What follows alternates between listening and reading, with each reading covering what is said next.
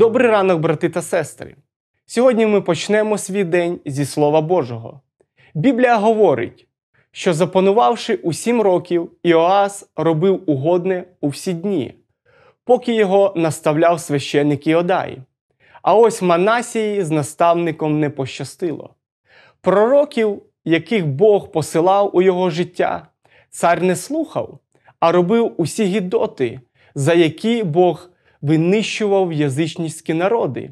І тільки опинившись в тісноті своїй, він став благати лице Господа Бога свого і глибоко смирився перед Богом батьків своїх, і помолився йому, і Бог похилився до нього, і почув моління його, і повернув його в Єрусалим, у царство Його, і пізнав Манасія, що Господь є Бог.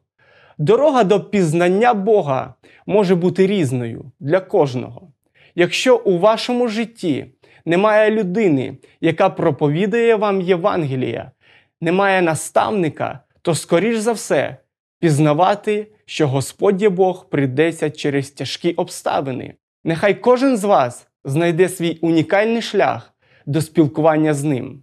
І це приведе вас до пізнання Бога та віри в Його велику силу та милість. Амінь.